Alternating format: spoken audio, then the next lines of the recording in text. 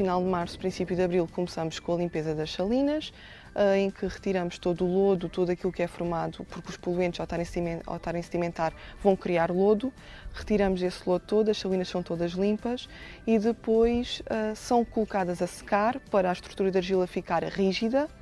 para depois sim podermos colocar, eh, portanto, a água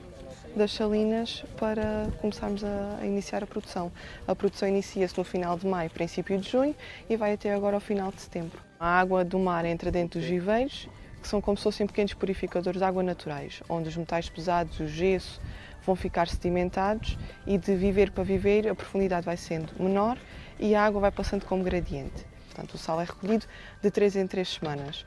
Uh, com o rodo, que depois partem o sal no fundo, porque se caso o sal esteja duro, há que partir um bocadinho ou quebrar um bocadinho a dureza do sal, e é depois puxado para cima das barachas e faz estes montinhos de sal que ficam aqui entre dois a três dias para secar. Depois então é colocado em cima dos, através dos carrinhos de mão para cima dos tratores e então é armazenado nos nossos armazéns, de modo a que seque naturalmente sem qualquer tipo de processamento químico. Sal que nós chamamos sal alimentar é uh, no fundo da salina e a flor de sal é flutua, é como se fosse uma fina camada de gelo que se forma à superfície d'água,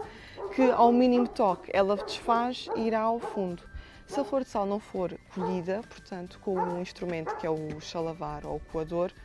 a flor de sal, a densidade aumenta e irá para o fundo cristalizar como sal de fundo ou sal normal, sal grosso.